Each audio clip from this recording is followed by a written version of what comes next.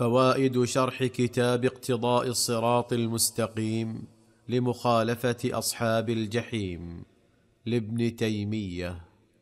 ولا نبيع الخمور وهذا لأن الخمور حرام منكرة في جميع الأديان لكن استباحها النصارى ونحن عاهدناهم على أن نقرهم على بقائهم على دينهم وعلى ما استباحوه ولا شرب الخمر ليس من دينهم.